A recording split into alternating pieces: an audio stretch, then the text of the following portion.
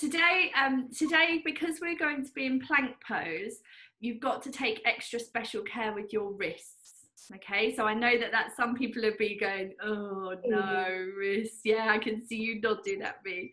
So just remember the alternatives are to be these. I call these tripod fingers. So where you've got your fingers like that on the floor. So that's your first alternative. I like that. Or you could put your knuckles down instead of your palms but I'll talk to you about this while we're flat at the screen. So what I want you to always remember is that there's a horseshoe like that on your hand. Okay, and that's where your body weight should be going into, primarily across here, across the top of the horseshoe. So here, where the wrist joint, the center of the joint is, there sh you should try avoid putting your body weight fully there or any body it should always be here okay? So and and then also do you remember in the last few weeks we've been talking about externally rotating the upper arm bones out? And so when we do that you can probably see when we externally rotate the arm notice what happens to the hand. It, it wants to the fingers turn down. But i don't want you to do that. I want your arm to externally rotate, but your hand to stay upright. Okay, so it's probably, let me just take my jumper off. So if you practice that, uh, sorry, oh, I've been hot all day and then cold, and now I'm all right. So, so I want you to, if you hold out your arm in front of you and spin your upper arm bone as though you're wringing it out as, and your fingers turn back down. So you've got your inner crease of your elbow facing the ceiling. And then I want that to stay the same. So put your hand here and hold this. Don't let this upper part of your arm move, but now spin your lower arm so your fingers point up. And that's always what you're looking for, this external rotation of the arm. I'm a bit bendy in my elbows, so don't take any notice of how my elbow is bending. But I do want you to externally rotate your upper arm bones because that will work a muscle here, um, the serratus muscle, which is very good at I hope that I've got the name of that right, but it stabilizes the shoulder blade um, because you want your shoulder blades to stay on the back of your body. So people, when you see people that are very loose in their shoulder blades and their shoulder blades are pinging off of the back of the body, that's because of a lack of stability in the shoulders. And that's no good. You don't want you don't want that pinging, that winging of your shoulder blades. It's okay when your hands are behind your back because that's you've got this massive um, internal rotation of the arms going on, which is not a very natural position for the hand, for the arms to be in and the shoulders, but we do it a bit in yoga. So it's nice to understand that that's happening. But primarily, yoga is about pushing. Okay, we push a lot. We push in down dog, we push in you know, plank pose, we push in all of these poses with our hands. And it makes the front of our body very strong, but the back of our body is weak as a result. And that's why you should try to do other things as well as yoga. Okay, because yoga is fabulous for the push, but there's no pull, there's none of this action, which which makes you use your back okay? And so therefore to try to find some stability for the shoulders this is why this is this external rotation of the upper arm bones helps to pin the shoulder blades onto the back of the body. And underneath your shoulder blade you have a very lovely muscle that holds the shoulder blade onto the rib cage. And it's helping to hmm. engage that and make it okay so there you go, a little bit of anatomy, a little bit of body work going on. So back to your hand, horseshoe shape, and then favour the thumb and the index finger side of your hand so that when you're pushing and you're externally rotating the upper arm bone, but then keeping that there as the thumb and the fingers rotate back to their normal position, you want to be putting more of your body weight here into not only the top of the palm, but also the thumb and index finger side of it too. So you're really working the inner part of the arm. And what happens when you do that, you get more range, you get mm. more, more length. And mm. that's what this class is all about, is how can you use the ground to lift yourself away from it, okay? So, sorry, that's turned into a little bit of a kind of workshop on all of these things, but mm. you'll get the idea in a minute. For the time being, um, come and have a lie down and we'll percolate that, that information. I'm going to put you on to mute, everybody. Welcome to everybody who's just come on board. Lovely to see you. Um, I hope you got the gist of that from halfway through the conversation.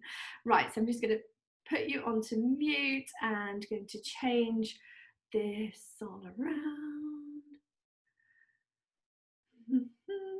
Good.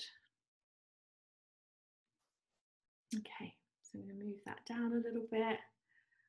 See you all over there. Okay, my darlings. So have a little lie down and maybe lay in constructive rest pose. That's the knees bent, feet what as wide as the mat, uh, the toes slightly turned in, and the hands resting on the tummy, somewhere in between the maybe the navel and the hip bones.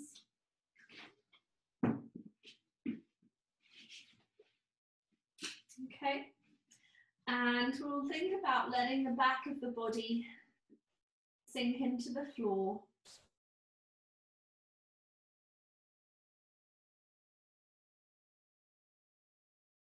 And we'll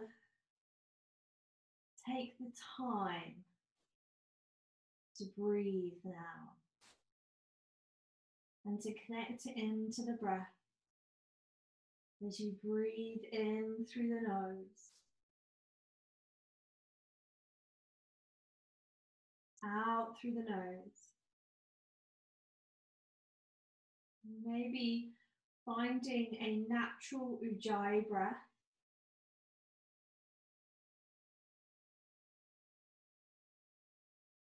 Where you feel that the breath is moving down the back of the throat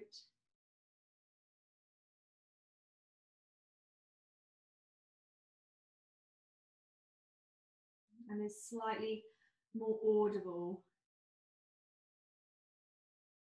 than perhaps is normal. As you breathe in, encourage the belly to relax.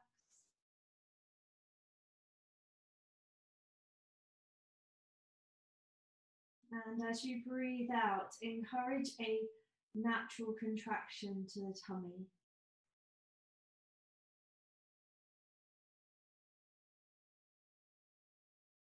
And this is where our practice of yoga begins with the breath.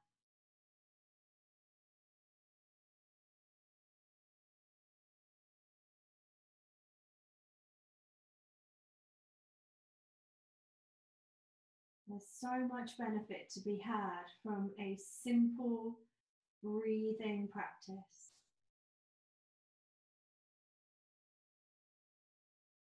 which can be incorporated into the asana practice as we do, or can be practiced standalone.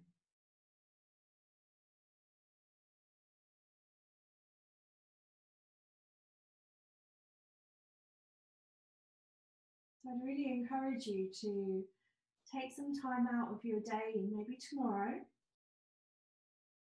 where you either come into this pose constructive rest, or you sit, or even you just go and stand out in the garden. And breathe.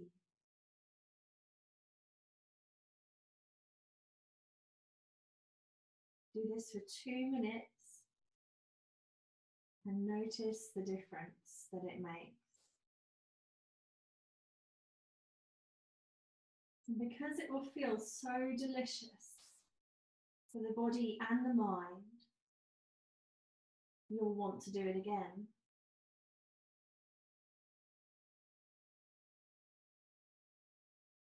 And so you factor in some more time to do it maybe later.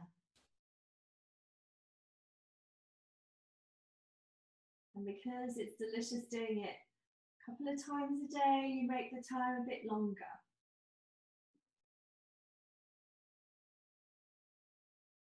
And this is how we begin to take our yoga practice one little step out of the room you're in or off of the mat you're on. So it becomes a part of your everyday.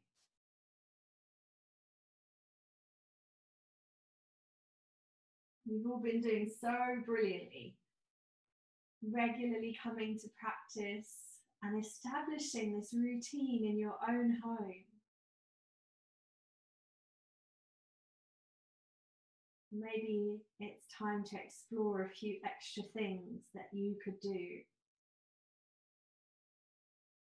Yoga becomes an integral part of your life.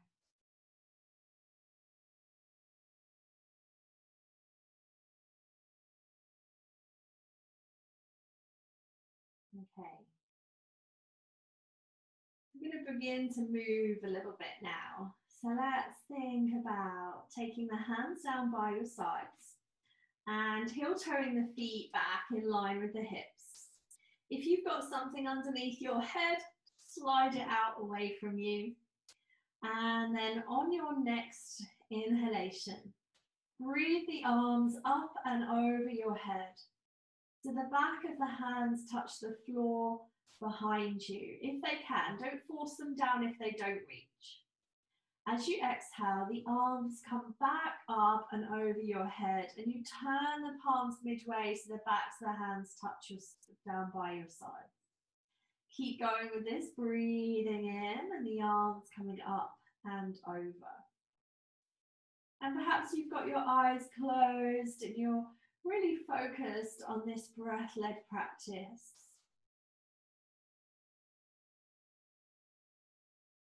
And how welcome these movements feel within your body. Never forcing the body to move in any way it doesn't want to go. Keep breathing, keep moving. On your next exhalation, I'd like you to hug in your right knee towards you, give it a little squeeze in.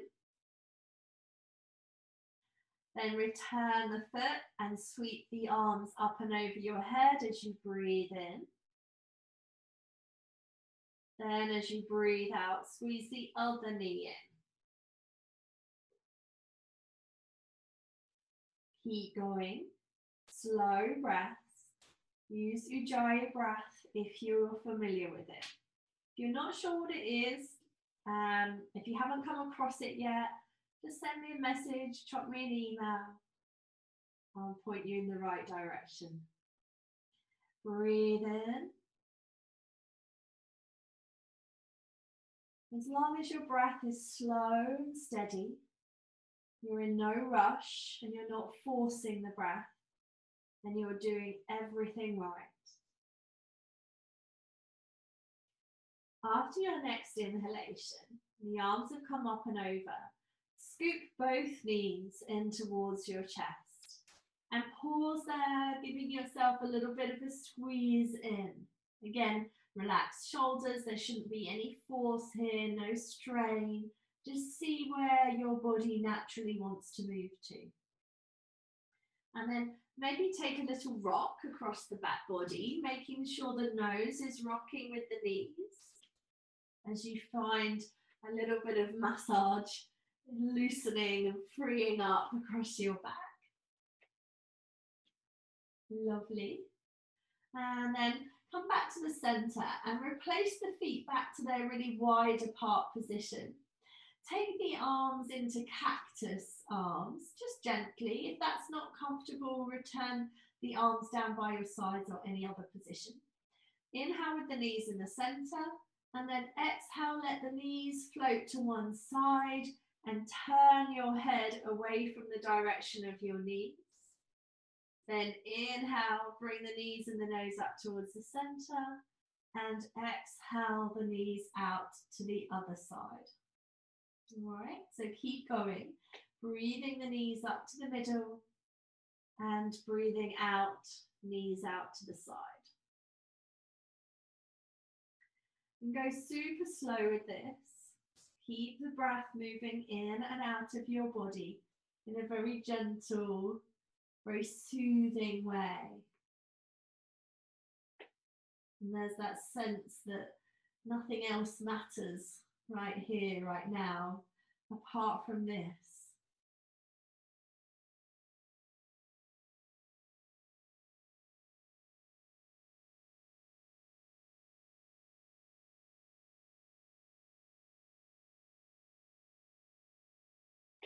One more on each side, everybody.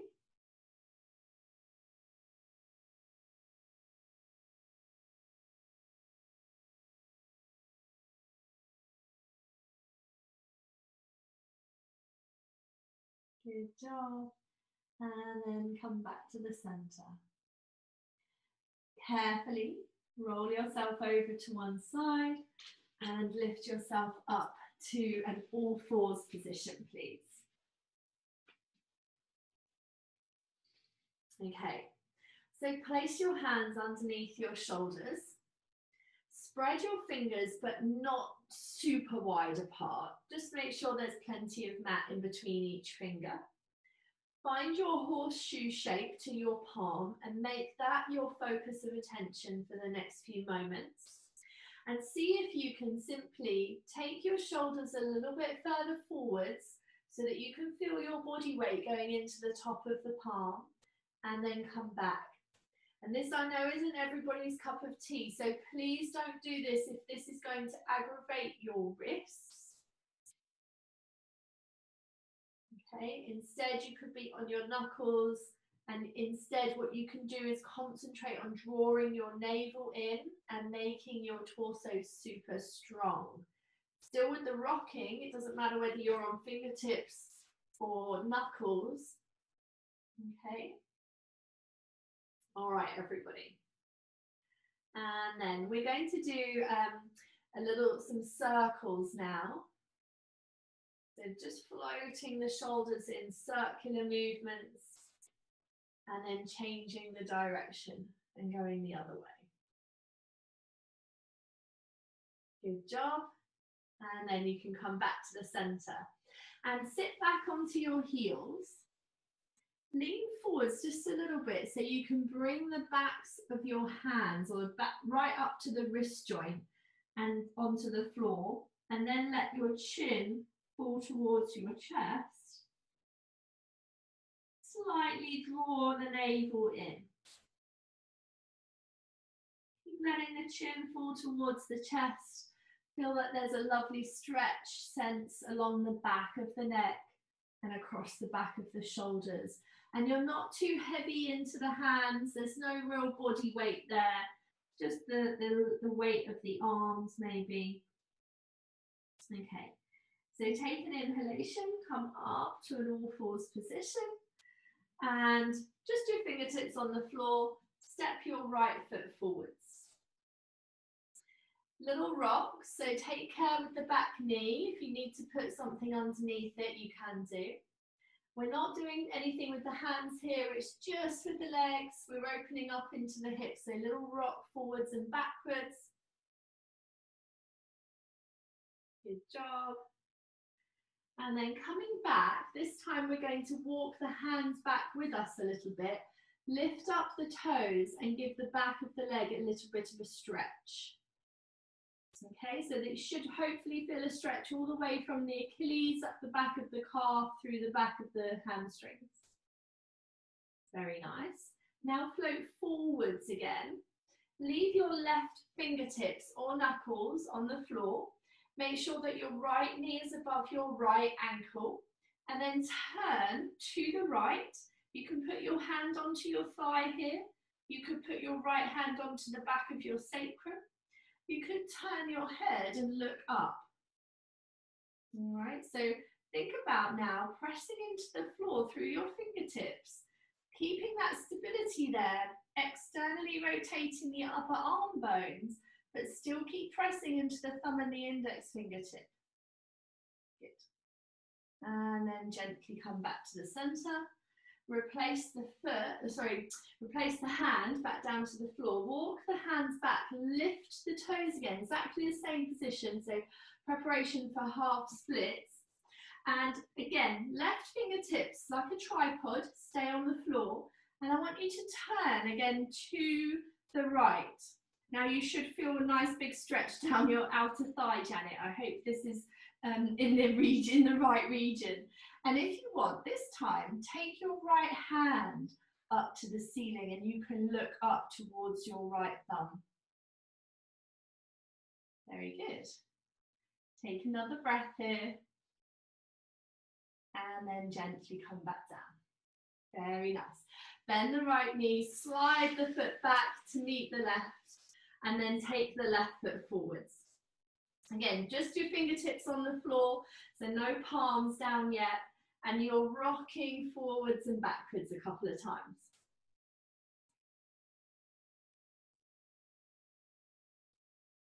Okay, next time you come back, let the toes lift off the floor, keep the heel on the ground, try and keep the pelvis fairly level, and then think about taking the right, sorry, the left sit bone towards the top of your mat. And you might find that that gives you a bigger stretch down the back of the left leg. Good job. One more breath here. And then walk the hands forwards and bend the left knee. Leave the right fingertips onto the floor and you're turning to look to the left. And it could be your left hand stays on your thigh or the left hand goes onto the back body. And you're thinking about spinning around, spinning the rib cage round, maybe a little bit of drawing in of the navel that might get you a little bit more rotation or a little bit more stability. Good job. Come back to the center and then walk the hands back so that the left leg straightens. Heel on the floor, toes are high. Right fingertips stay on the floor and then turning again to the left and then lifting, if you can, the left hand up to the sky. If it's too strong, just keep the hand on the hip or the back of the body. As you reach up towards the ceiling, can you keep pressing into the right, into the fingertips on the right hand? And think about as you press down, can you find a little bit more lift and a little bit more space in your body? Is there lightness? That's what we're always looking for, lightness within the strength. And then looking down, lower the left hand. Good job. And sweep the left foot back. This time palms are down on the floor. We're going to come into downward dog. So tuck the toes under, lift the knees, unravel the backs of the legs. Let the head fall between the arms. Maybe a little bit of a pedal of the heels. And I want you to enjoy how that feels in your calf muscles um, especially after those lovely big back of the leg stretches. And then if you think about spreading out the balls of your feet, little bit of a bend to the knee, lift the tailbone up to the sky, press into the thumb and index finger side of your palm, externally rotate the upper arm bones, chin towards the chest, heels back, Breathe here, draw the navel in a little bit. Take a couple more breaths if you can. All right. And then we're going to look towards the fingers and walk the feet forwards towards your hands. Well done and allow your knees to bend enough so that your tummy can rest onto the top of the thighs, the arms can dangle down. And again, if you're able to, bend the knees enough so the backs of the hands are resting on the floor. The chin falls towards the chest, the head hangs heavily down. I'm going to stay here, or you can move with me. You're going to gently breathe in and lift the sit bones opening up the backs of the legs if you can, and then exhaling, letting the knees bend, and you come down into your sort of semi squat position. And then we'll do it a couple more times. So breathing in, lifting up the sit bones, straightening up the back of the legs, and then exhaling, rebending the knees. One more time, breathing in. Good. And out. And then this time, let's walk the hands up the front of the legs. And let's relieve our bodies by coming up to stand. And maybe just noticing how that's feeling along the back of the legs um, into the, maybe around the sit bones, that sort of thing. Sorry, I've got half of my hair in my mouth. Okay, so we're going to stand at the top of the mat and I'd like you to stand in mountain pose. So spread out the balls of your feet, drag the heels back. And so we've thought a little bit about the hands because that's going to be so important for a plank pose. But we also have to think about now the feet. So I want you to spread out the balls of the feet so that you can press into the four corners. Okay, you're all familiar with this now. So press down and think about as you press down, can you create lift, upwards movement of energy, particularly ground down into the big toe and inside edge of your foot so that you can lift the inner arches of your feet and feel that there is a line of energy going all the way up the inside of your thigh, making that lovely lifted feel that then will run up the center of your body and all the way out through the top of your head. As you stand here, press, pressing down into the soles of your feet, but lifting the inner arches and then lift, that lift continues. Can you lengthen your tailbone towards your heels? Can you lift the front of the hip bones up slightly? Keep the lower ribs in. Relax the shoulders, turn the palms forward slightly. And lift up through the back of your brain. Relax your face. Relax your jawbones.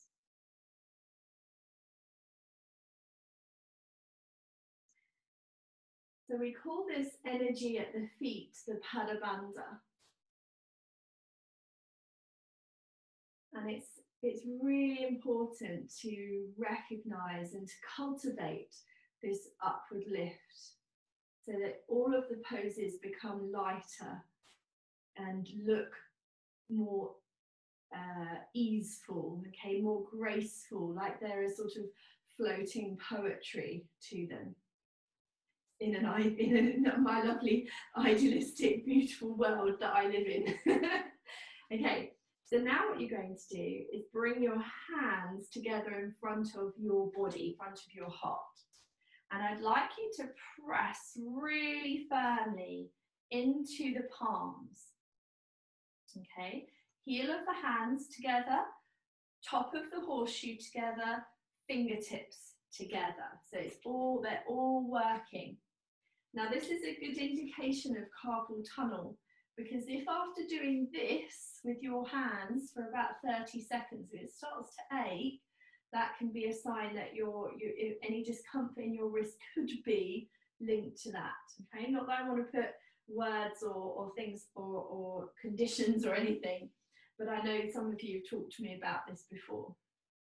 Okay, now there's a really nice one that we can do to counter this, which is then to turn the palms inside out.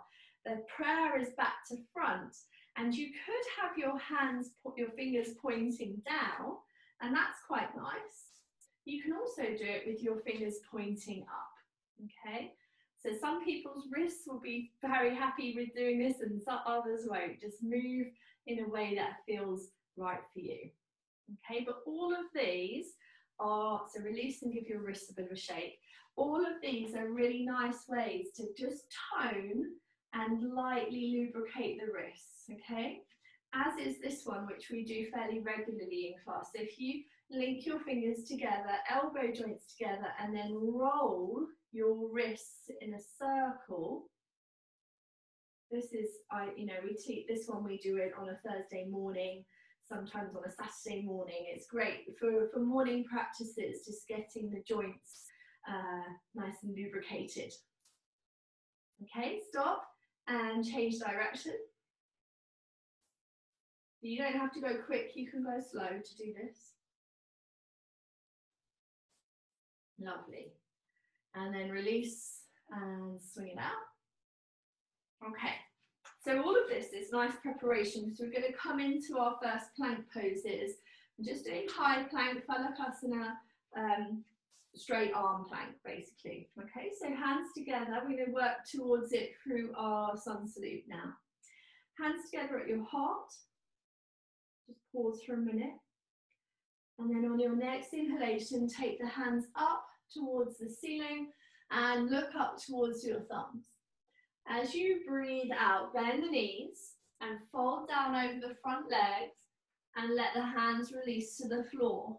Lift up the sit bones, bring the chin towards the chest. Okay, now you can leave your fingertips on the floor, bend your knees and step your body, your legs back into plank. This is Phalakasana. So we're going to pause here. Remember, you can be on your fingertips or knuckles, or if it's too strong, you can bring your knees to the floor. Now notice that my back body is in a fairly straight line, so try to avoid your hips being higher than your shoulders and encourage your shoulders over your wrists, body weight towards the top of the palms. Think about pressing into the thumb joint but externally rotating the upper arm bones. This will help you to lift the back of the heart slightly. Tailbone towards the heels, draw the navel in towards the spine, and you should be feeling like you're working here, okay? There should be effort. Don't want to see any saggy bottoms, so no one doing this, okay? So keep a little bit of lift to the front hips, tailbone pointing towards the heels. Well done. Last breath. and knees down. Good job. Untuck your toes. Take your bottom backwards towards your heels. Turn your palms up towards the ceiling. Drop the head in between the arms. Relax the upper body, relax the shoulders. Good. So you've tackled your first plank for tonight's practice nice and straightforward, okay? It's a fabulous pose for building strength and stamina. So if you felt a bit shaky or a bit wobbly in it, don't worry, but repeat practice, regular practice and building up the breath count while you're there will all help immensely. But don't worry, we're not going to be doing loads of them we are going to be doing some variations um, of them in a minute. All right, so turn your palms back down and float yourself up to an all fours position. Good job. Think about the thumb, uh, sorry, the, the body weight pressing into the horseshoe of your palm, externally rotating the upper arm bends, but you don't have to overdo this. Then tuck the toes under. Inhale, lift the tailbone, let the navel drop and look out in front of you. And keeping the arms in this same position, then untuck the toes, and as you exhale, round into a cat. Okay, breathing in, tuck toes under into cow. And as you breathe out, keep externally rotating the upper arm bones and notice whether that changes any sensation across the back of your shoulders. One more time, breathing in and breathing out. Good. And then coming back to the center. All right. Take your body weight off of your wrists again. Bring your hands down by your sides. Turn the palms up. Bring the back of the hands onto the floor. Round through the front body. Draw the navel in. Drop the chin towards the chest. Okay and get this lovely center of your body drawn in as though you're lengthening the back of the body into a cat pose, albeit you're kneeling. Okay? Take another breath here.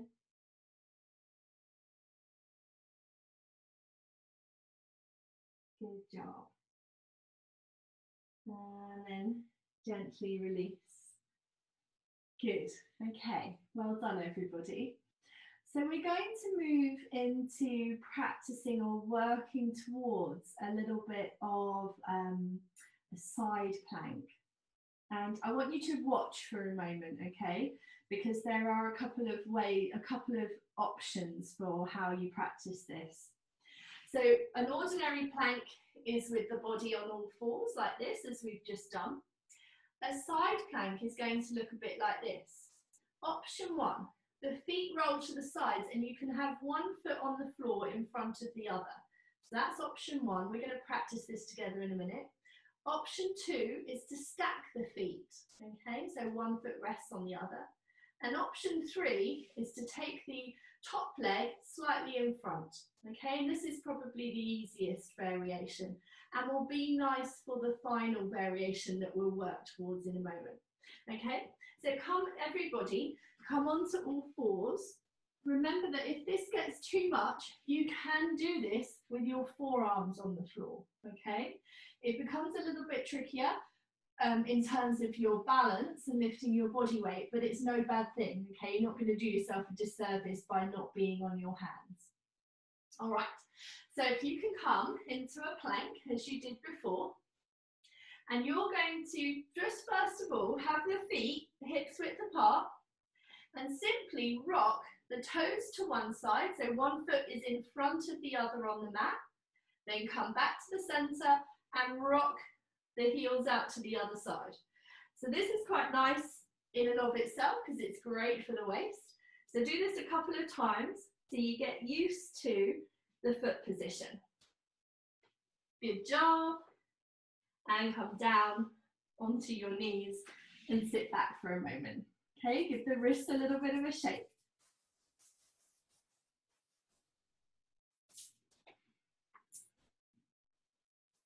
All right. Okay, we're going to do a little bit of um, a wrist dance now.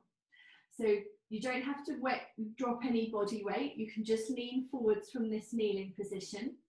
You're going to place the palms down, fingers forwards. Turn the palms up, fingers forwards. Turn the palms down, fingers point out to the sides of the mat. Turn the palms up, fingers point in towards each other.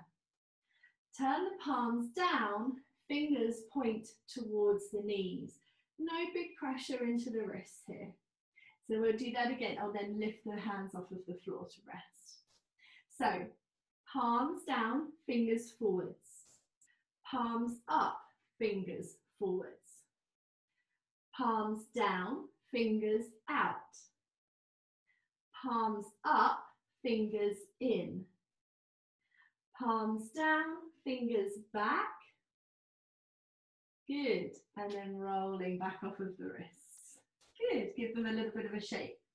And just something like that, not you're not weight bearing, but just little movements like that are really great for the mobility of the wrists. And, and those of you that practice with me for so long now, you'll know all of the wrist stuff that goes on for me. And so I, I, I, I suffer from carpal tunnel and from ganglions, all sorts of things, but it's, it's constant attention and not overdoing it, of course, but weight bearing as is appropriate and lots of mobility practice. Okay, and, and stability from the shoulders as well. So I'm not dropping all my body weight into my hands as much as possible. And they're all of the things that we look to cultivate because really we want to be using our torso, our core to hold us rather than collapsing down into the wrists.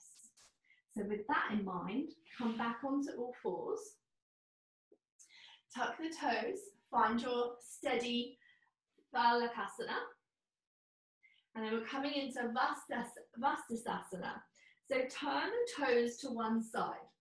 Either have one foot in front of the other, one foot on top of the other, or one foot in front, in the middle of the mat roughly. Your choice. And then you can lift up onto the fingertips and gently bring your arm up to the ceiling or onto the side of your body. Now, I really want you to squeeze the bottom hip to draw your core in, to take your body weight to the top of your palm, to keep the inner thighs firm. The feet look like you're standing on the floor. Can you find lightness? And then gently come back down, turn the toes, knees down, take a rest in child's pose.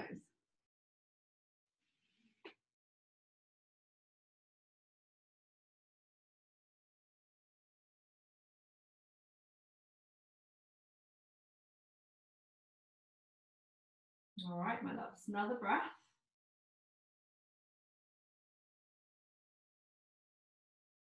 Okay, lengthen the fingertips forwards. Float up to all fours. We're going to come straight onto the other side.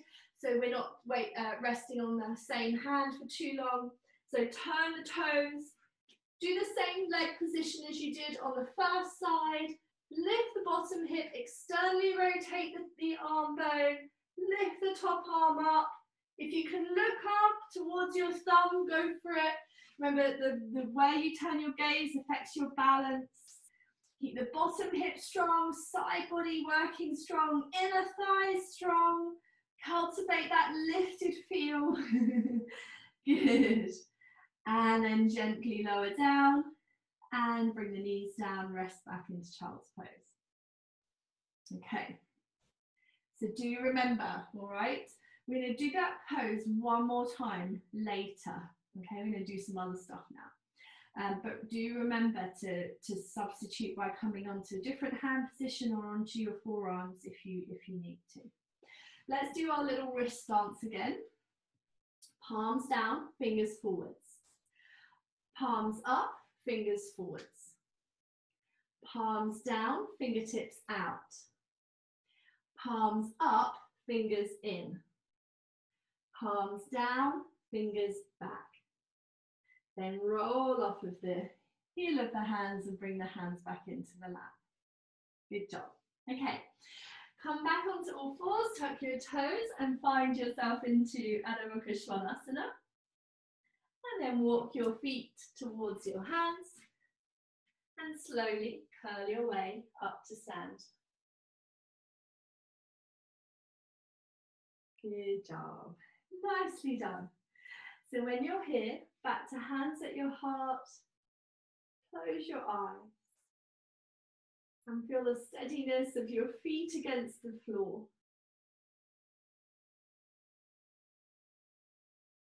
And enjoy the gentle beat of your heart behind your hands.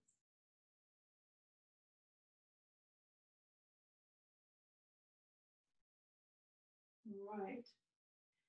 Release the hands down by your sides. Good job. You might want a brick. Um, we're going to work towards a side angle pose. So I'd like you to take the brick towards the right. Uh, uh, if you're turning out to the side, have it towards the right foot end of your mat. Okay, we'll work into warrior two first of all, then into a side plank. So let's start by stepping the feet a good distance apart.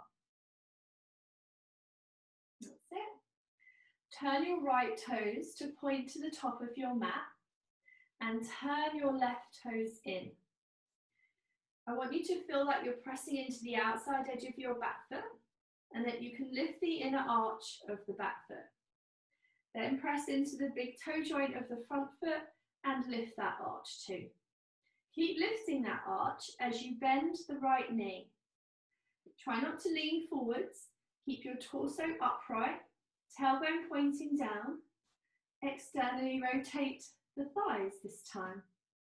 Arms can come up to shoulder height and look down your right fingertips into the distance. Front body open, tailbone pointing down, low ribs in a little bit rather than letting them uh, jut out and breathe. That's lovely, everyone.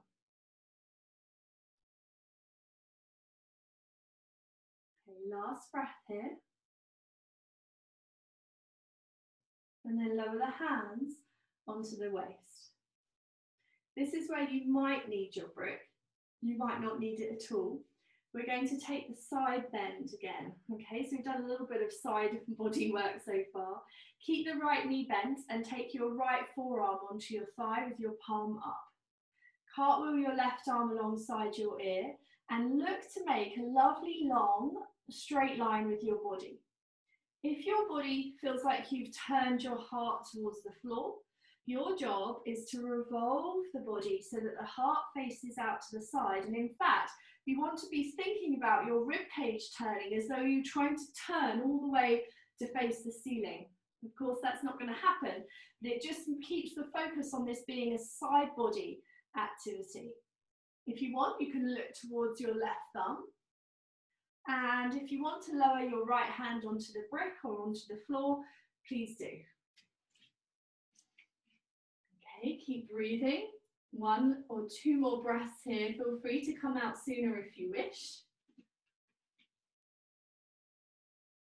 Looking good, everyone. Well done. Last breath. And then we will transition back into a um, warrior two. So take a breath in, float up, good job. Hands onto the hips, exhale, straighten the right leg, turn the toes forwards. If you used a brick and you want to use it at the other end, take it with you now. Come back to a standing position. Turn the left toes out. Turn the right toes in slightly. Lift the inner arches of both feet, really anchor down through the big toe joint. This is going to create that lovely length up the inner thigh. And as you externally rotate the thighs, you're going to be using your glutes more.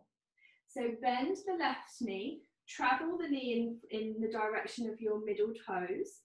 Press the outside edge of your foot firmly into the floor behind you. Externally rotate the upper arm bones. Feel yourself squeeze. In fact, put your hands on your own bottom. Okay, why not? Give your bottom a little bit of love. You don't have to, obviously, but just every now and then. okay, but I want you to feel that those muscles there are working because we shouldn't be sitting on them all day long. Okay, that's not what they were designed for. They're designed for running and walking and climbing, and we need to do more to, to strengthen them. So arms up, make sure those glutes are nice and firm. okay, tailbone points down slightly. Think about your big toe joints, press them into the floor. Can you feel that line of energy up the inner thighs? Lovely. Now straight into side angle. Forearm onto the thigh, right arm alongside the ear, and actively reach into the fingertips. Create lots of length along the side body now. Breathe. Look towards your thumb if you want to. If your balance is a bit off tonight, feel a bit wobbly, just have your gaze out to the side. Same if you have high blood pressure. You want to drop your left hand onto the floor or onto your brick, please do. Good. Last breath, doing brilliantly. And then we'll look down. We'll take an inhale to warrior two and exhale to straighten the leg. Lower the hands, turn the toes forwards, step one foot to the middle of your mat, step the other foot in to meet it, return back to mountain pose and breathe.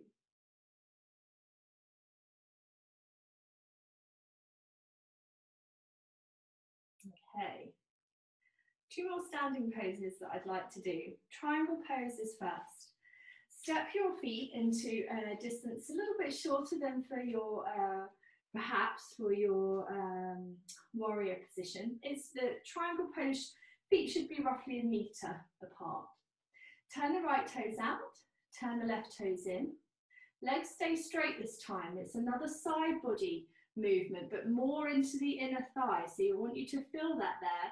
Don't lose the glute on the back body though. Okay, so keep squeezing the glute as well. And then the right hand can come down onto a brick or onto your shin. Left hand up, look up towards your thumb. Unless of course you have high low blood pressure, you could look down instead. Good.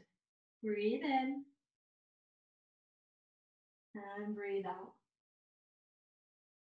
Another couple of breaths.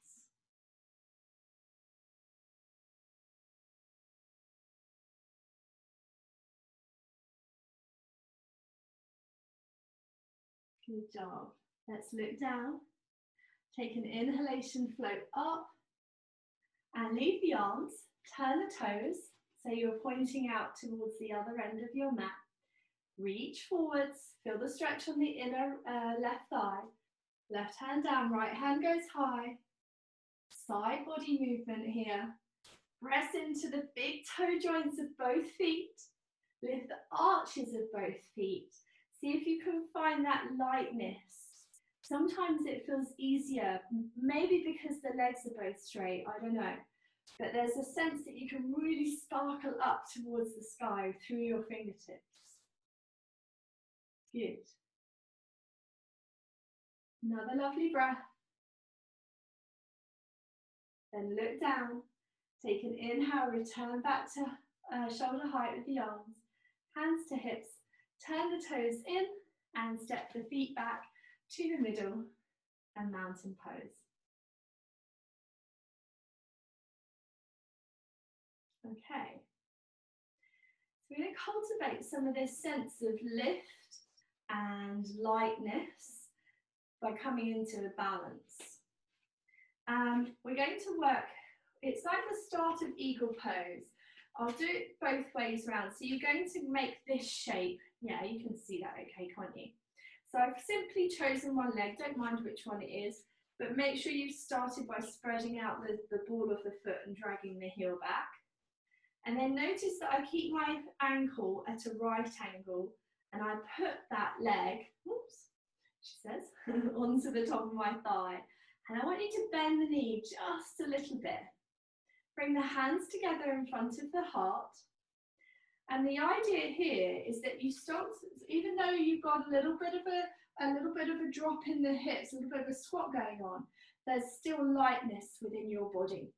So you've got the lightness because that's what we need, that upward flying energy so that we can soar light through the currents, um, just like a bird. All right. See if you can come down a little bit lower. Those of you that have got your balance, maybe you can find your elbows to reach your lower leg.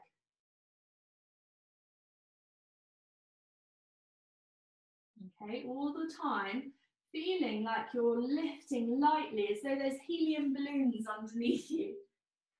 Lovely. And then gently come up and release and shake it out of your standing leg. Good job. And let's do the other side. So spread out the ball of the foot, drag the heel back. Just take extra good care if you're on carpet. I should have said that earlier. Maybe be near a wall if you feel a little bit wobbly, um, just because the carpet doesn't afford you such a solid surface to balance on. All right, so you've got to create that sense of moving down into the earth so that then you can lift away from it. Okay, you've got your pada bandha going on through the foot. Keep the um, floating leg, the ankle at a right angle, cross the knee or cross the lower leg over, take a little bit of a squat, hands at the heart if you can.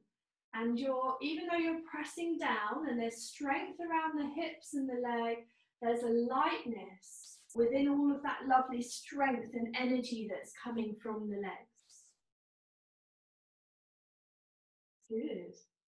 If you can come lower down and maybe find the elbows towards the foot and the knee, go for it.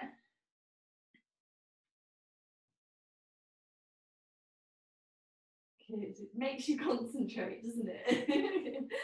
All right. On an inhale, gently lift yourself up. Give the legs a little bit of a shake. Okay, so we have prepped ourselves beautifully. I want you to come back down onto uh, just into a seated position, maybe, so that, or any, any depends where you are, where, where you can see your device, um, so that you can see for a moment. Okay, so we're coming back now. We've talked about the feet, the pada bandha. We've talked about the hands, and this is the hasta bandha. Okay, so we're talking about bandha means means upward lift or upward lock um, so that we can create, as we create connection with the earth, we can use the earth's energy to move us away from it. And this is what it's going to look like. And you can do this on your forearms. Um, and you can modify it. You can do any of the poses that we have already done, any of the variations that we've already done instead of this. You're going to come into your plank. You're going to turn to one side. You're going to bring your foot forwards and it could be that you come into this position. Or it could be that you hold on to your big toe joint with your two peace fingers, okay? And you find your balance to start to lift your leg. And maybe you just lift it a little bit. Maybe you lift it out to the side. Or maybe it comes all of the way up towards the ceiling and you keep pressing into your hasta bandha. You've got all that lovely energy. And then when you're ready, you bring it back down then you step back to plank, then you come into child's pose to rest. Okay, so you can, so you, like, okay, we can do this, you can do this. Remember, substitute by being on your forearm.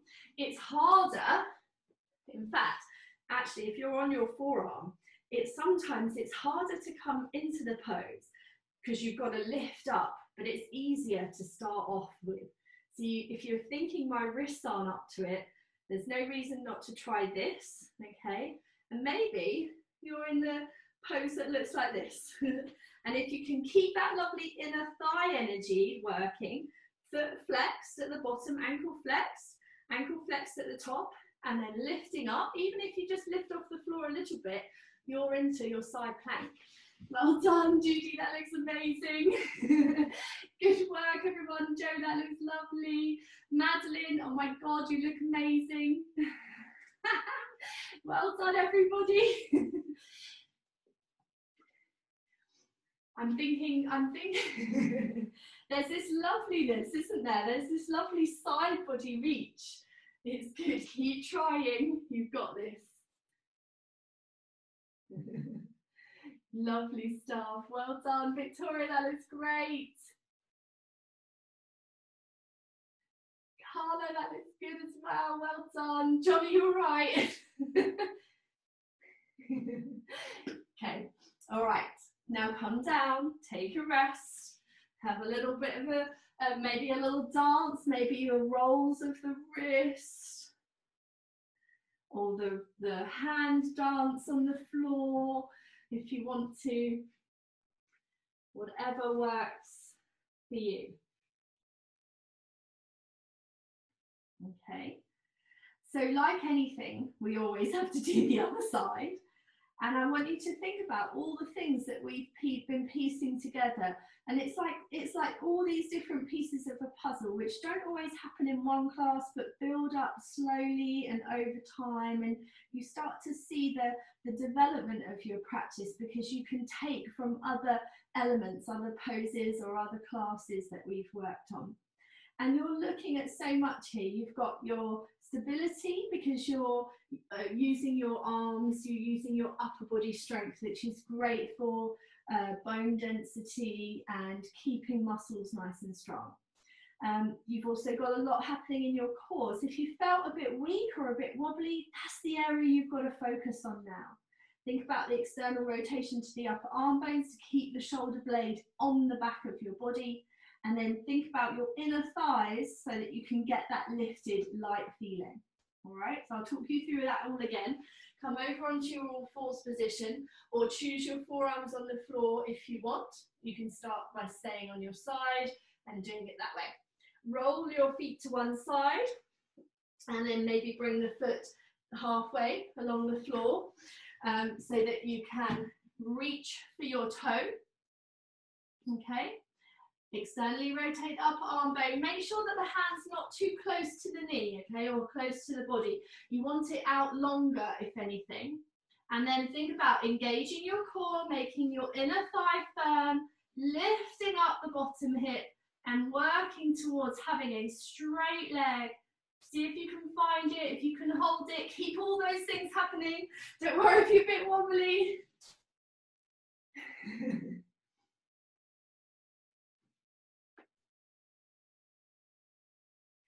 Beautiful. This is gonna, you're all gonna get nice. It's that mugginess as well, isn't there? So it's a bit of a sticky one.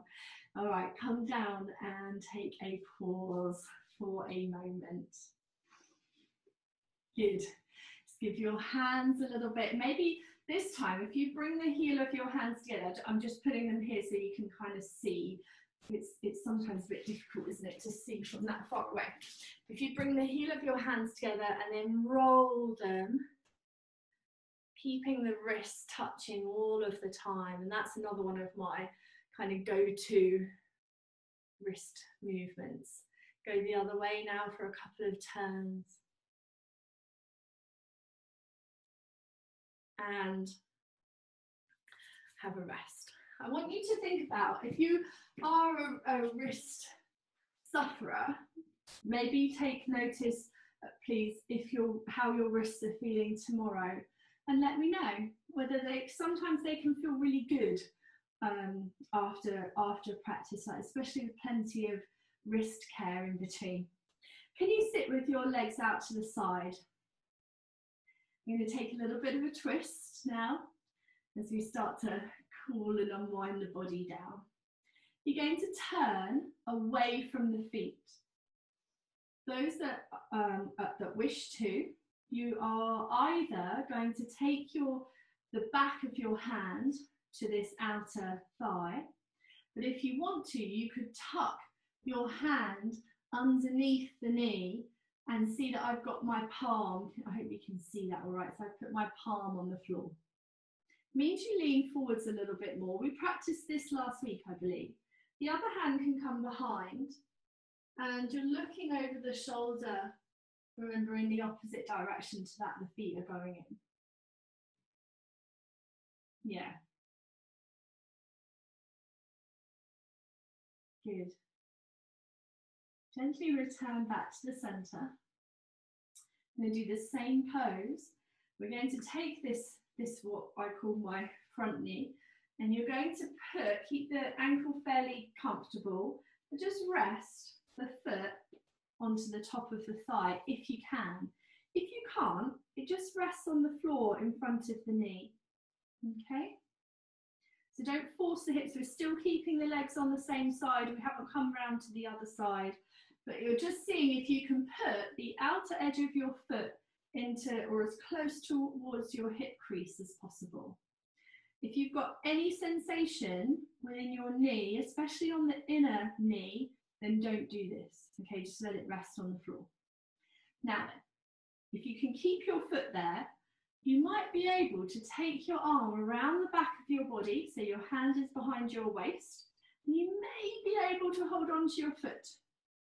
She says maybe, and John did ask me if he needed a strap tonight, and if you wanted to use a strap, you could do to reach the, the to bridge the gap. But if not, you're going to let your foot rest there, let your hand behind the back of your body, and then put the hand underneath the knee and turn away from the legs.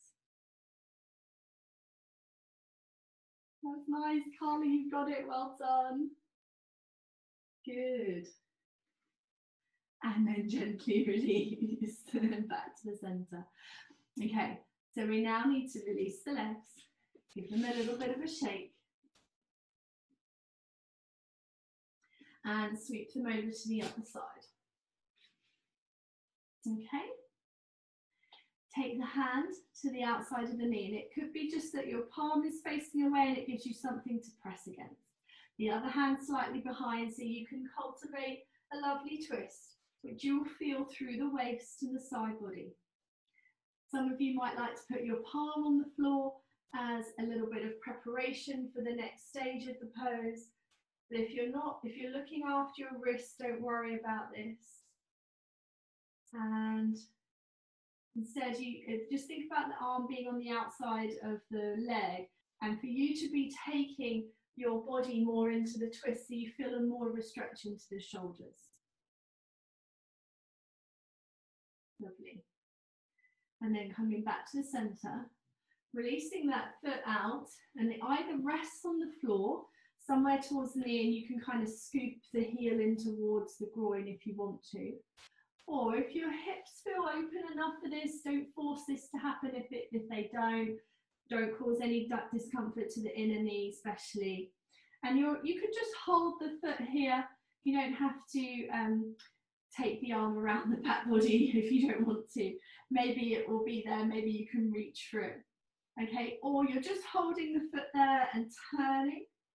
Or some of you might like to take your hand back to that same position and use that to pivot you round. Okay.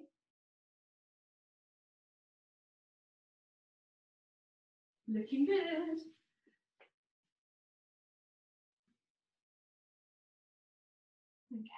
And gently release, come back to center.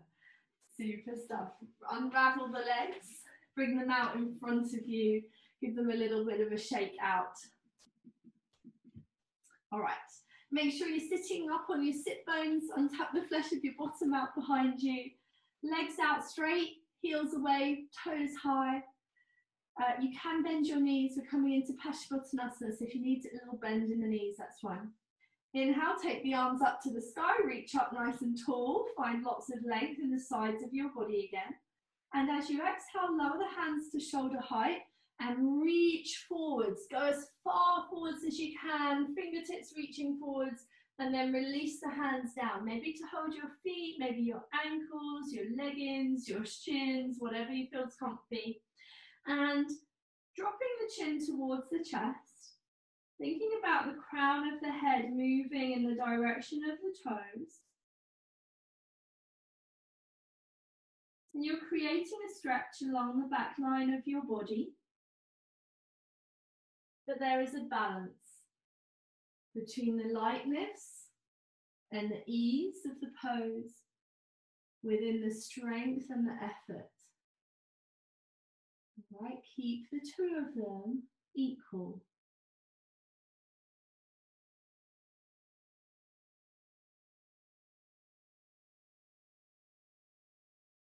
Last breath here.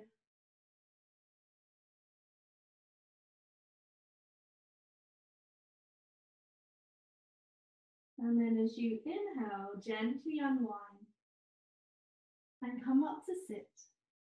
Good job. So we couldn't have a plank pose class without doing reverse planks. I thought I'd just slip this one in here and then we will take a rest in Shavasana. So bring the hands to the floor behind you. You can have your fingertips on the floor or your knuckles. You can also have your fingertips pointing towards your hips as is traditional, or you can turn your hands out to the sides or even have your hands pointing back, your fingers pointing backwards. So do what is right for your wrists. And if you need to just ease out of this one or leave it out, you can come and lay down and do some rolling uh, hip rolls that we did at the beginning of the practice. Those of you that are coming with me, your hands are on the floor behind you. I want you to press into the tops of the palms, externally rotate the upper arm bones to open up the chest and then draw the navel in, strength through the belly, lift the hips, point the toes away, keep lifting up through the front body as long and as tall as you can. Don't let the head fall back too far. Keep holding this here, breathing, squeezing the bottom, getting the hips as high as you can, even though the legs are straight. Good job. And then gently come down. Very nice. Give the wrist that shake out and we are pretty much done. So come and have a lay down on your mat and a hug in of the knees. Take a big breath in and with your best rubbery lips, breathe out, blowing a raspberry. Okay, do this a couple of times, breathe in.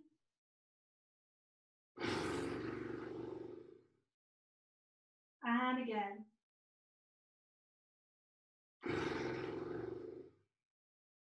All right. Release your legs.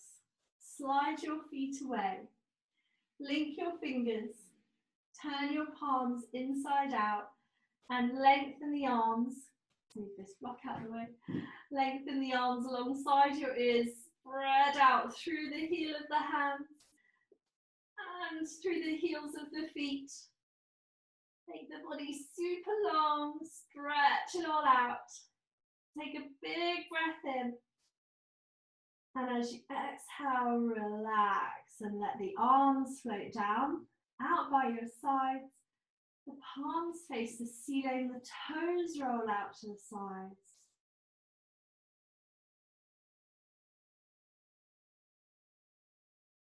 and let your body sink into your mat. Make any adjustments that you need to be comfortable.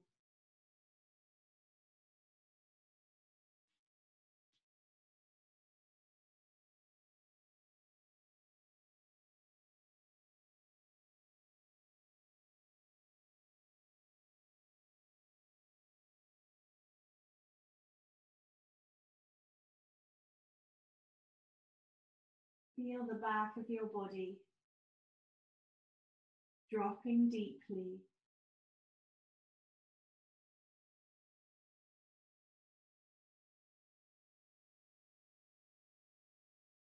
Legs heavy and long.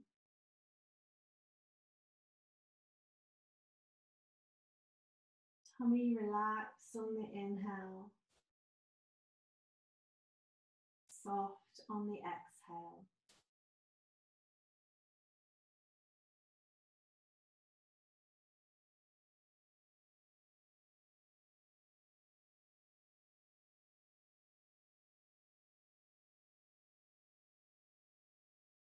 Observe the changing shape of your rib basket.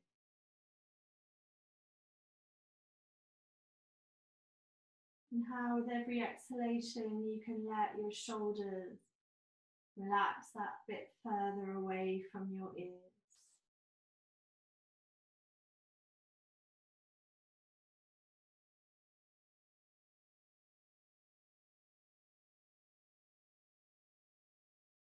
Allow the back of the head to get heavier and heavier.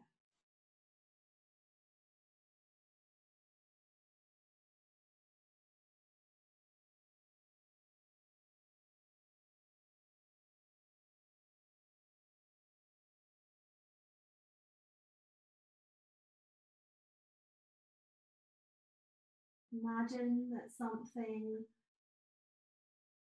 weighted, not too heavy, maybe a warm, damp cloth that's scented with something something really calming and soothing.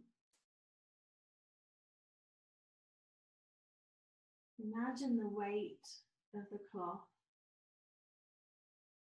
allowing the skin across your forehead to release.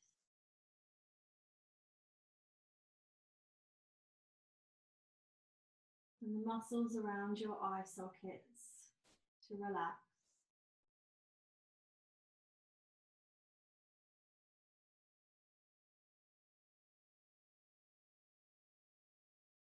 And the eyes themselves to fall away from the back of your eyelids.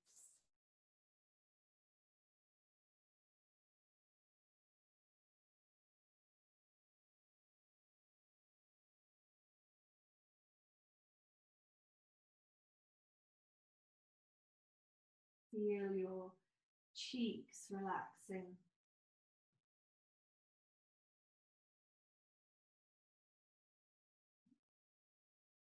And the back teeth letting go.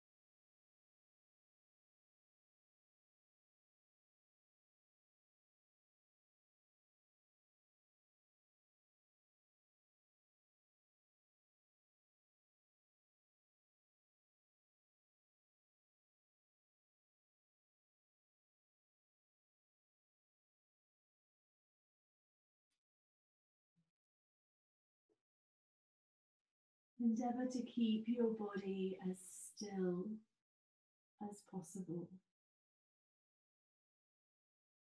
Enjoying how calm and subtle the breath has become.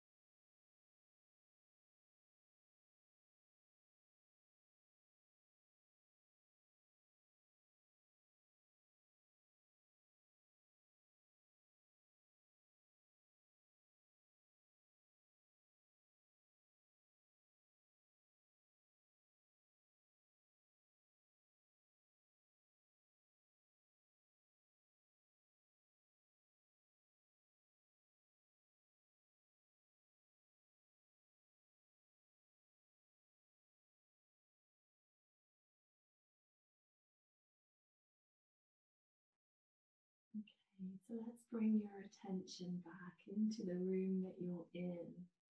But please don't make sudden movements. Maybe start by wiggling fingers and toes.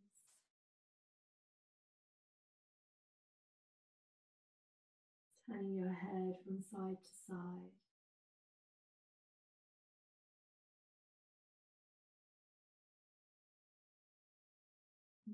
Taking a stretch out any way that feels good.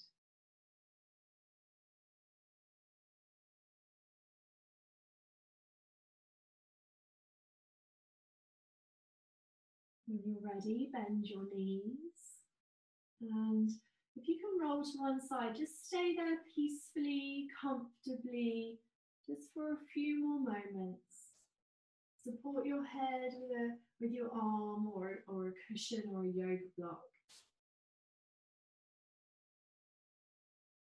Let the breath come and go. Keep the eyes closed. And take this moment, these last few moments of peacefulness and calm before you let the world back in.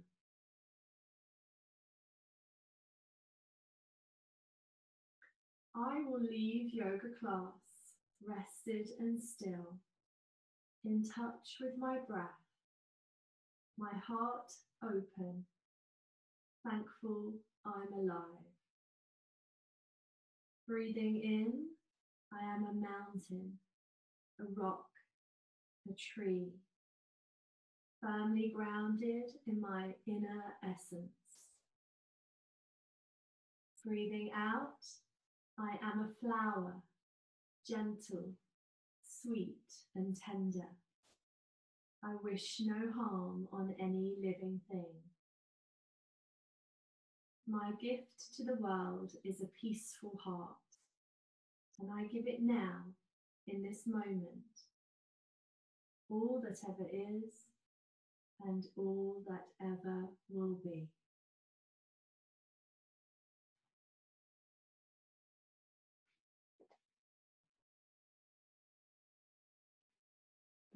Everyone. So carefully and slowly bring yourself up to sit. Come into any comfortable seated position.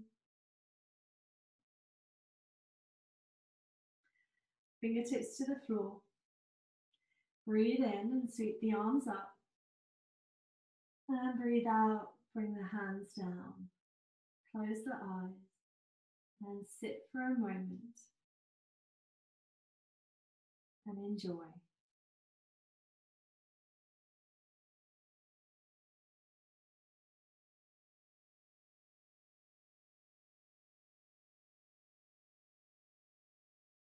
And this sense of calm and stillness, may you take it with you so that it nourishes and feeds the rest of your day and indeed your day tomorrow yet to come. Take a breath in, open your eyes. Well done. Namaste to you all. And thank you so much for coming to practice with me. Well done, everybody.